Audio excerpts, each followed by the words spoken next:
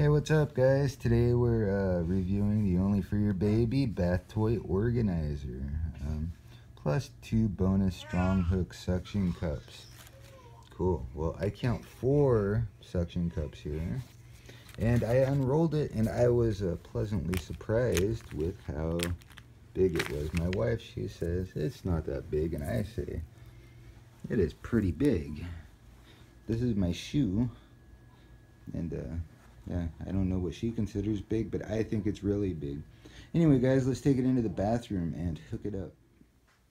All right, guys, we are back in the bathroom. Not back in the bathroom, we're in the bathroom. So let's uh, see how we can set this sucker up. I'll set it up high now, I think. Uh-oh, what did I do? I didn't do anything. Uh-oh. Maybe this is why they give us uh, two extra. Okay, guys, one more time. Let's just go ahead and put that there. Very, uh,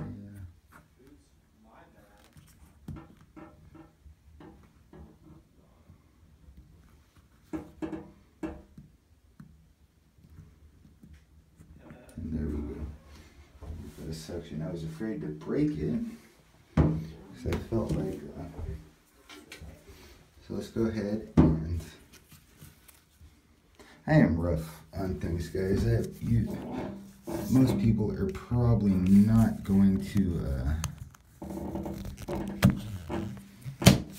have that same issue I did. I'm like uh, the Incredible Hulk sometimes.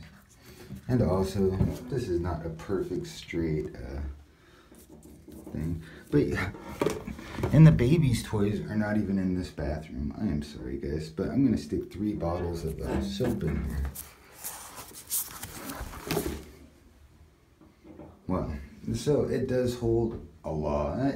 I think it's really big. We could fit all the soap in there. Um, and everything on there. Anyway, guys, um, that was it. The bath toy organizer. Um, hope you uh, enjoyed it. Later.